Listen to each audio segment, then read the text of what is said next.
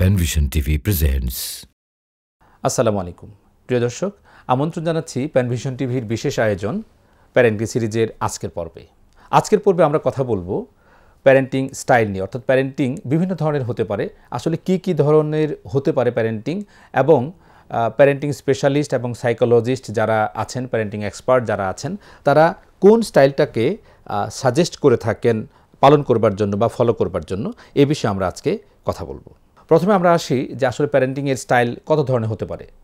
মোরলেস আজকের সারা বিশ্বে যারা প্যারেন্টিং এক্সপার্ট আছেন যারা প্যারেন্টিং নিয়ে কাজ করেন প্যারেন্টিংয়ের জন্য চারটি স্টাইলকে তারা নির্ধারিত করেছেন। অর্থাৎ চারটি স্টাইল আছে প্যারেন্টিংয়ে তার প্রথম স্টাইলটি হচ্ছে অথরিটারিয়ান স্টাইল তার প্রথম স্টাইলটি হচ্ছে অথরিটারিয়ান স্টাইল অর্থাৎ অথরিটারিয়ান স্টাইল ফলো করার মাধ্যমে যে সকল বাবা মায়েরা তাদের সন্তানদেরকে প্রতিপালন করে থাকেন, তারা সাধারণত ছেলে মেয়েদের যে ফিলিংস যেগুলো আছে, ছেলে মেয়েরা যে অবাধ স্বাধীনতা পাওয়ার কথা বা তারা যে ফিলিংসগুলো শেয়ার করে এটা পায় না।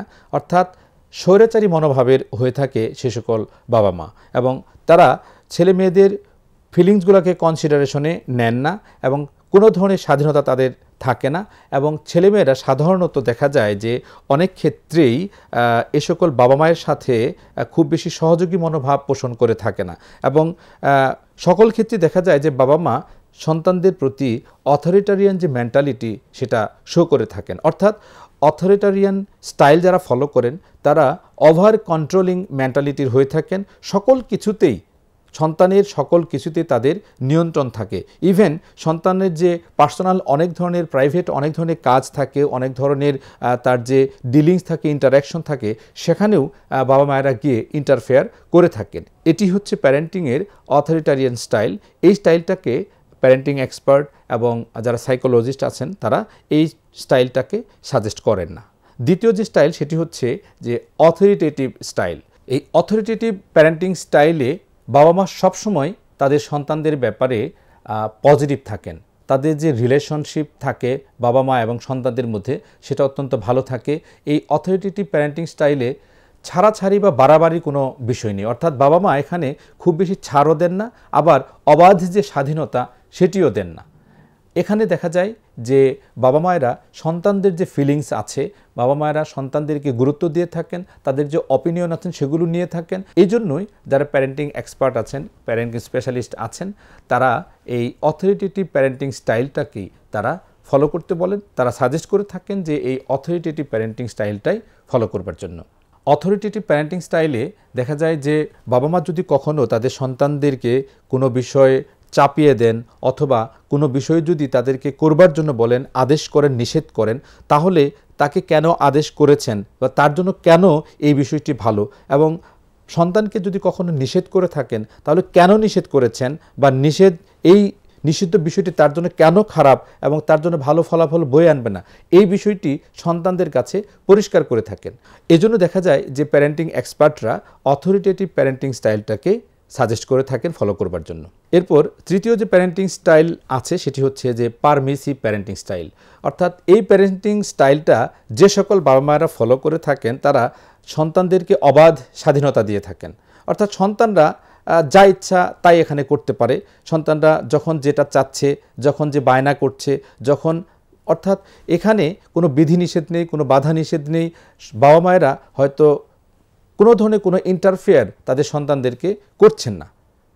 এই যে বর্তমান যান্ত্রিক সময় বা বর্তমান আধুনিক এই সময়ে যদি বাবা মায়ের এরকমভাবে অবাধভাবে যদি সন্তানদেরকে ছেড়ে দেন, তাহলে কিন্তু ফলাফল আমরা খুব বেশি ভালো আসবে এটা আশা করতে পারি না। এই জন্য প্যারেন্টিং এক্সপার্ট যারা আছেন প্যারেন্টিং স্পেশালিস্ট এবং সাইকোলজিস্ট যারা আছেন, তারা পারমিসিভ প্যারেন্টিং স্টাইলটাকে ফলো না করার জন্যই বলে থাকেন।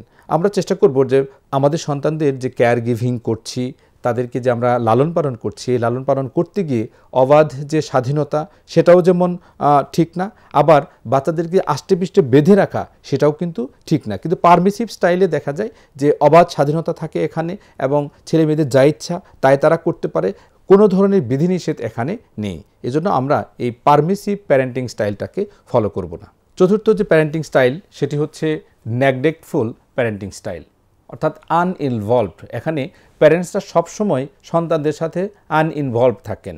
সেটা হতে হতে পারে তাদের বিভিন্ন কারণে, সেটা হতে পারে তাদের হেলথ ইস্যু হয়তো এখানে জড়িত আছে মেডিকেল ইস্যু হয়তো এখানে জড়িত থাকতে পারে বাট দেখা যায় যে সন্তানদের কোনো বিষয়েই তাদের কোনো মাথা ব্যথা থাকে না, এই জাতীয় বাবা মায়েদের অর্থাৎ যে সকল বাবা মায়েরা নেগলেক্টফুল প্যারেন্টিং স্টাইল ফলো করেন, তারা সবসময় তাদের সন্তানদের ব্যাপারে উদাসীন থাকেন। তারা চিন্তা করে থাকেন যে সন্তানরা তারা নিজেরা নিজেরাই বড় হবে এবং তারা নিজেরা যে গতিতে বড় হচ্ছে সেভাবেই তাদের জীবনটাও তারা পার করে দিবে।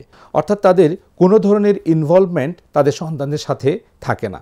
এই জন্য প্যারেন্টিং এক্সপার্টরা কিন্তু এই আনইনভলভড অথবা নেগলেক্টফুল প্যারেন্টিং স্টাইলটাকে ফলো না করার জন্য বলে থাকেন।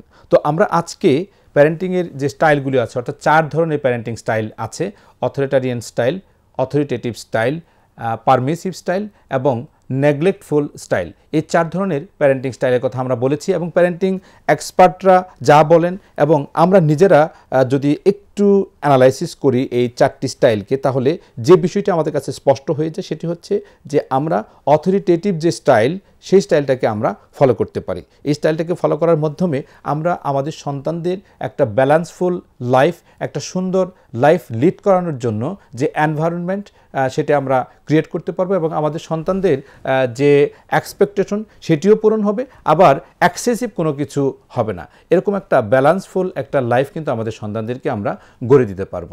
তো প্রিয় দর্শক, আজ আর কথা বাড়াচ্ছি না। সকলেই ভালো থাকবেন, সুস্থ থাকবেন। আপনাদের প্রত্যেককে সন্তান হয়ে উঠুক। আপনাদের জন্য নয়ন জোরানো সন্তান। সেই শুভ প্রত্যাশায় আজকের মতো বিদায় নিচ্ছি। আল্লাহ হাফিজ।